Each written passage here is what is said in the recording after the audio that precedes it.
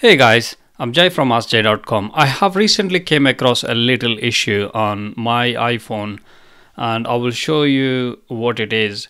So every time I go into my photos and I try to play something, let's say a video, and it just buffers, it doesn't play straight away. You see, it looks like it is uh, downloading from somewhere um, whereas you, I mean, it's like if you go on YouTube and you try to find something on a slow internet connection, it just buffers, right? So what what's happening there is um, there is a thing called uh, iCloud Optimize. So every if you have that enabled, every photo or video you you make or you take um, will be automatically uploaded to your iCloud so to uh, save storage on your iPhone so you you you won't run out of storage on your iphone. And then whenever you try to access that file it um it, yeah it downloads or it streams from icloud. So how you can avoid that? I mean sometimes it's frustrating right? You you meet a friend and you want to show your video and you click play and then it just buffers and buffers and buffers so which is not really nice. So how you can change that is you go into settings and you go to photo settings. I think photo settings are here photos and camera.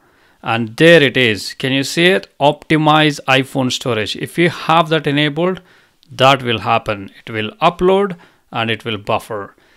If you ha if you change the settings to download and keep the originals it will keep everything on your iphone and you won't have problem.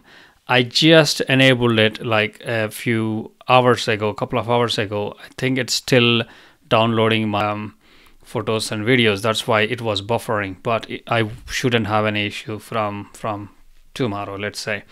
But that's the issue. Uh, it's actually a good move um, from apple but um, the data availability and the Wi-Fi or broadband, you know, maybe it's it's a lot to catch up.